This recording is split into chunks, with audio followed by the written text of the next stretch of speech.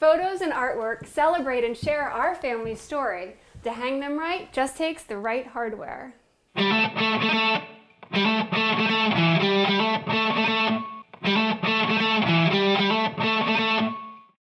For DIY art, a clip and wire kit works great hung over a nail or a screw.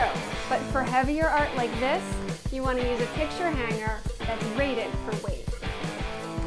Picture hangers that are easy to install, make the artwork simple to hang, and do the least damage to the walls are the best.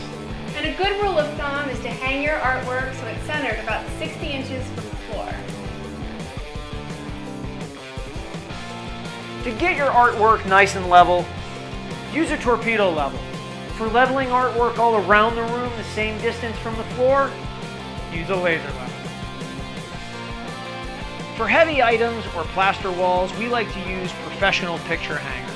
The hardened nails drive in at an angle, they're easy to remove, and they hold up to 100 pounds. Great for stuff like mirrors and heavy art.